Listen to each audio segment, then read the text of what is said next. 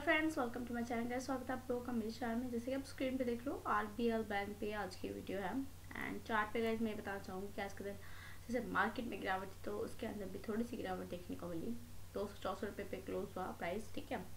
Guys के share बाज़ार ने आज नया ही रिकॉर्ड बनाया था। आप लोगों को ये बात पता ही है। एंड इंट्रा डे में भी निफ्टी ने कम से कम बयालीस सात सौ पचानवे अंकों तक वो पहुँच चुका था आज के दिन देन उसके बाद उसी स्तर से।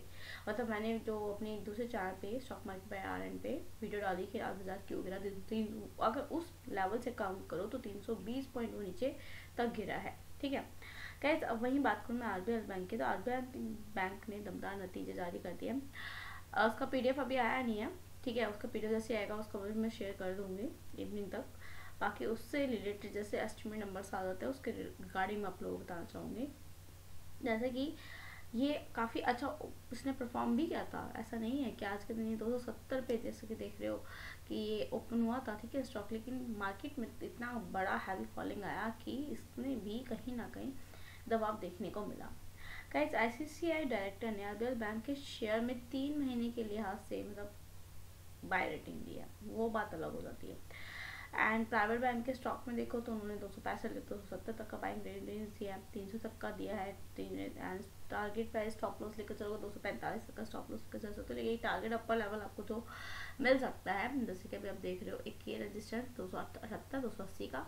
और एक ये, जैसे ही तीन सौ के लेवल को ब्रेक करता है गाइस नो डाउट आपको साढ़े तीन सौ तक जाता हुआ देखने को मिल सकता है RBL bank guys RBL bank का शेयर ने मतलब अब तक बहुत अच्छी परफॉर्मेंस करके दिखाया दो हज़ार दो सौ सत्तर तक जिस तरीके से आज के दिन ऊपर मतलब बावन वीक हाई जो इसका तीन सौ है, जो कि इस स्टॉक ने ग्यारह जनवरी को बनाया था।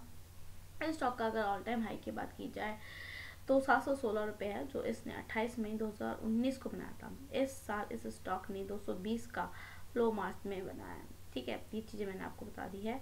एंड अप्रैल महीने का ही लो दो सौ सैंतीस रुपये है एंड ऐसे में डाउन साइड कैसे कि जिस तरीके से इसके नंबर निकल के आया ना मोटा मोटा मैं आपको बताऊँ, काफ़ी सुनने को तो अच्छा लग रहा है, लेकिन एस्टिमेटेड नंबर है, इसलिए मैं कुछ नहीं बोलूँगी इसके बारे में, क्योंकि इससे रिलेटेड जैसे ही आज के दिन पीडीएफ होता है, आएगा रिजल्ट्स का, मैं आपको शेयर कर दूँगी। लेकिन अगर बात की जाए इसके चार्ट की तो चार्ट पे मैं आप लोगों को ये बताना चाहूँगी कि डे के चार्ट में इसने बना दिया है गाइस डाइवर्जेंस जैसा कि इसने यहाँ डाइवर्जेंस बना दिया है तो नो डाउट गैस आपको इस स्टॉक के अंदर बिकवाली भी देखने को मिल सकती है, जो कि आपको आज के दिन यहाँ पर इस पॉइंट पे देखने को मिली है।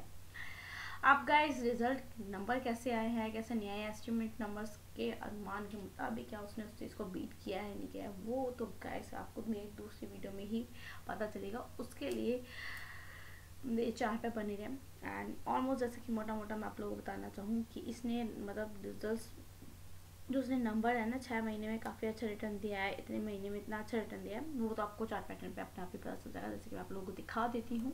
जैसे कि हम आ गए चार्ट पैटर्न पे, अगर आप देखोगे ना, एक महीने में चार परसेंट का सिक्स मंथ में चौदह एंड एक साल में जो कम मोटा मोटा सत्तर परसेंट का देखने को मिलता है एंड पाँच साल का चार्ट गए सिक्सटी परसेंट तक गिरा हुआ है, लेकिन मैक्सिमम अगर देखा जाए, यहाँ से इस लेवल पे तो गए इस तरह हमें गिरावट देखने को मिलती है सिक्सटी परसेंट की, लेकिन जब ये स्टॉक 2019 में आया था, उसके बाद से इसने अभी आप देख सकते हो, एक सौ इक्कीस परसेंट तक का रिटर्न दें तो अगर हम शॉर्ट टर्म की ट्रेडिंग के लिए जाते हैं तो एक साल में गए इसने सत्तर परसेंट रिटर्न बनाकर दे चुकी है एक बैंक एंड अभी भी कहीं ना कहीं, अभी दस परसेंट के डिस्काउंट पे एक साल के पीरियड पे देखो तो मिल रही है। एंड अभी भी ये अपने अंदर एक पोटेंशियल बनाए हुए हैं। बाकी ये मैं नहीं कहूँगी कि आप इसको बाय करूँ। आप खुद से स्टडी करना, इसका चार्ट पैटर्न मैंने बता दिया है।